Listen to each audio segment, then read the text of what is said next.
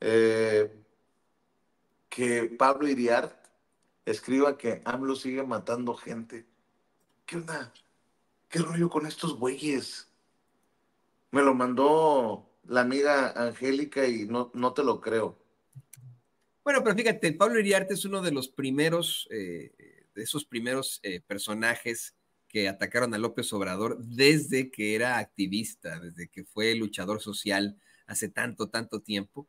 Él es uno de los primeros. El mismo presidente López Obrador en sus mañaneras recordaba cómo es que este, eh, pues, señor que viene de Chile, o sea, del, país, no, no me malentiende usted bien.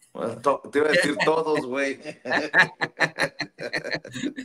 bueno, que ese chileno eh, pues tiene este tipo de planteamientos desde hace mucho, mucho, mucho tiempo. Y fíjate, durante el sexenio, eh, Pablo Iriart se dio por vencido y supuestamente se habría ido a vivir a Miami, Florida, a continuar con su eh, pues obra desestabilizadora desde ahí, desde Miami, Florida, en contra del mismo, pues...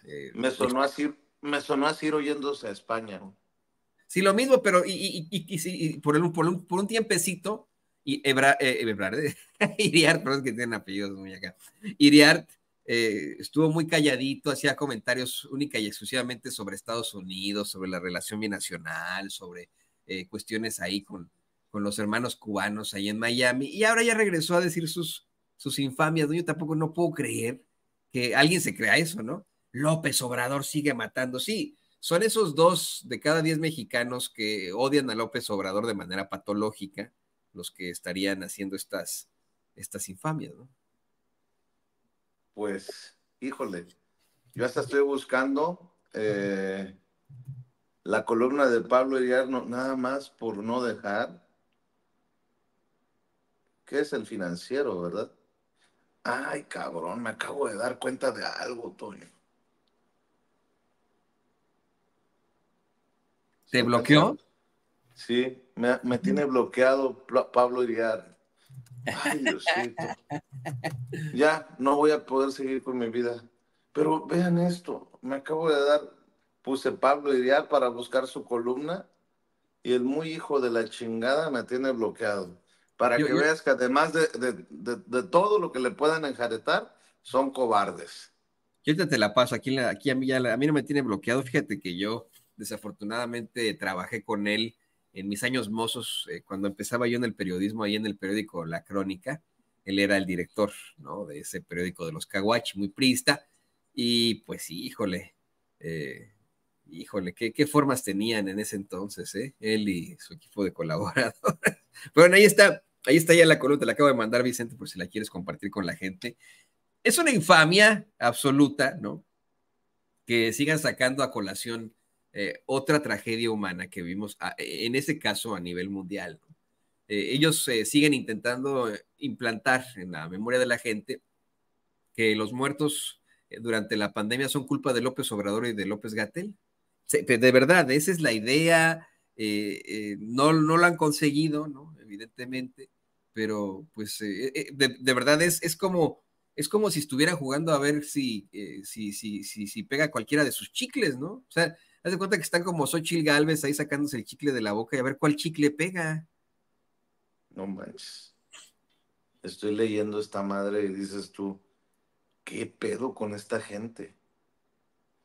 AMLO sigue matando gente. Si quieren vacunas para este invierno, ahí están la cubana y la rusa, pero no sirven. ¿Cómo no sirven? A ver, ¿desde cuándo, ¿desde cuándo es doctor este cabrón? ¿Por qué le permiten en el financiero escribir estas mamadas? ¿Por qué, por qué le permitieron ser director de, Crónica, Vicente, a este cuate? Cuando yo era un chamacón como tú. ¿Por qué? Pues por lo mismo de siempre, porque son eh, personajes emanados de las élites, bien mediocres, ¿no? Eh, que, detentan esa, esa mediocridad privilegiada y por eso, por eso fracasan. Por eso ha sido un absoluto fracaso en la oposición porque pusieron a puro pinche perdedor, perdón, ¿eh? yo sé que es muy temprano y se enojan los señores y las señoras, pero, eh, es un pinche perdedor como, la, como el resto de la gente a su alrededor. O sea, ¿qué diferencia hay entre este cuate y Claudio X González? O entre este cuate y Pedro Ferriz de Con. No sé. No sé, no sé. ¿No ha llegado la, la doctora? ¿No ha llegado la presidenta? No, al parecer no, David está todavía la, la, pizarra abierta, pero todavía no, ahora sí se les hizo tarde. Me da la impresión de que están eh, todavía en la reunión de seguridad precisamente por lo que ocurrió ahí en Chiapas, el asesinato de este sacerdote de origen Sotziri. Seguramente eh, están todavía ahí revisando algunos datos porque pues es el, mira, hoy ese, ese, va a ser el tema para los medios de comunicación corporativos. No dudes tener allá a Dalil Escobar, a Reina Ide Ramírez, a tu amigo Páramo, Arturo Páramo, eh, todos estos eh, echándoselo en cara a la doctora Claudia Sheinbaum, recriminándole a la doctora Claudia Sheinbaum este, esta tragedia, que sí es una tragedia, una verdadera tragedia, eh, pero que pues bueno, como nos explicábamos, la masa tiene una cantidad impresionante de asegúnes, de, de factores a, alrededor, ¿no? O sea, el, el, pero ellos van a llegar hoy a la, a la mañanera a la conferencia con, con la espada desenvainada, decir, es su culpa, doctora, es su culpa.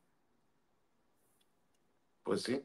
Por cierto, la doctora en Yucatán este fin de semana recordó cómo gobierna, quién es, ama de casa, mujer, todo lo que les duele a esos eh, misóginos machitos. Somos las que siempre atendemos a la casa, que esté limpia, que se haga el quehacer, todo eso. ¿Quiénes somos las que cuidamos hasta los maridos?